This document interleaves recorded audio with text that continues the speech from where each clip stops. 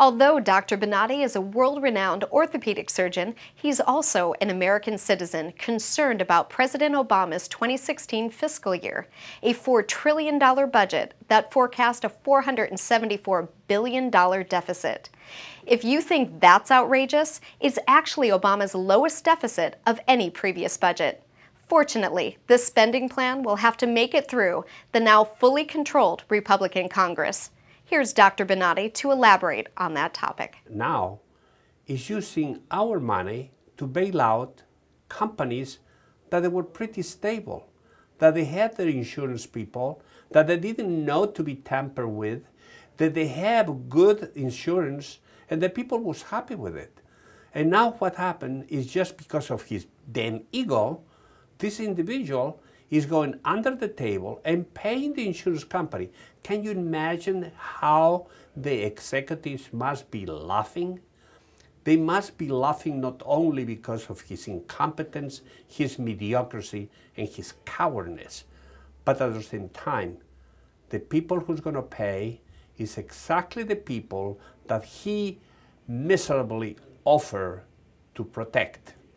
That's the people who is going to be paying because the middle class is going to be responsible for all this garbage that he created.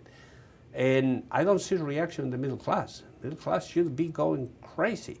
Now, I saw a reaction on the on the position of the um, uh, electing new Congress and new Senate.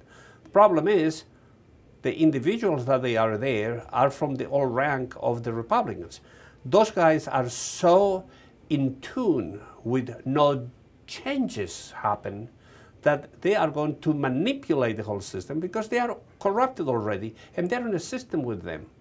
So the next thing that happens is we're losing the power of correcting the misbehavior of the of the representatives. We need to create a system that if these people misrepresent the facts or uh, act in a certain way that is not correct, they should be called in action and should be uh, forced to resign. Thank you for watching American Medicine Today. We hope you've enjoyed learning about these new and exciting medical advancements, as well as discovering that you do not have to live with back pain, regardless of what you've heard from other medical professionals. Stop suffering and seek a consultation to see if the world-renowned Bonati Spine Procedures can help you. If you are a doctor or a medical innovator who would like to be featured on our show, please email request at americanmedicinetoday.com. If you have any questions or comments, please feel free to contact us at the number below. When you do, please speak clearly and leave your name and number. You can tweet at Dr. Bonati or hashtag American Medicine Today or hashtag AMT. We respect your views and opinions and would like to hear from you.